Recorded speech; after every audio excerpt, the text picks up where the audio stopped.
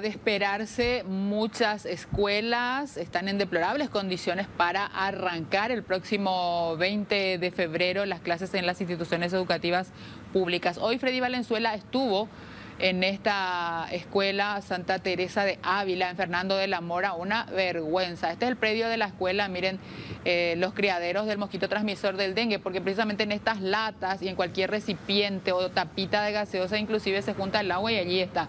Eh, procreando el, mosquito. Bueno, un ñanandú de aquellos es lo que podemos observar en esta escuela, Freddy.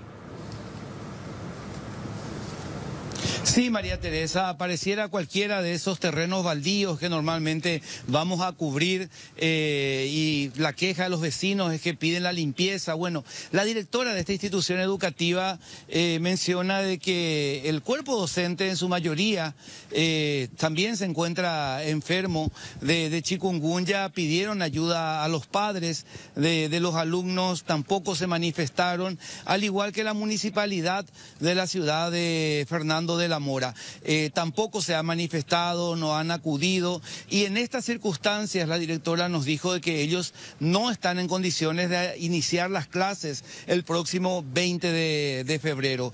Eh, terrible la situación, las aulas también, eh, algunas de ellas presentan rajaduras, tampoco hay agua corriente en estos momentos en la institución. Ellos tendrían que tener agua de la SAT, pero la presión es tan poca que prácticamente no hay agua para, ni siquiera para los sanitarios. Eh, son algunas de las falencias que tienen allí en esta, en esta escuela Santa Teresa de Ávila, ubicada en Fernando de la Mora, zona norte. Pero compartamos lo que nos decía la directora de la institución.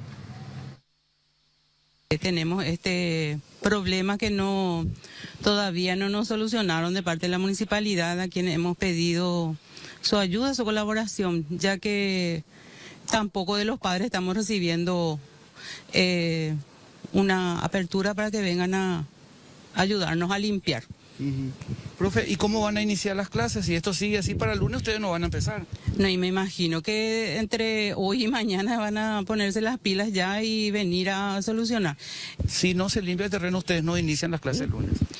Y seguro que no. Con estas condiciones no. Ya. ya. Entonces le reiteramos al intendente de Fernando de la Mora este pedido, ¿no? Sí, por favor, señor intendente, eh, tenemos niños acá que van a asistir a clases, tenemos también una vecindad que necesita ver que este predio esté limpio para no diseminarse más esta enfermedad tan tremenda.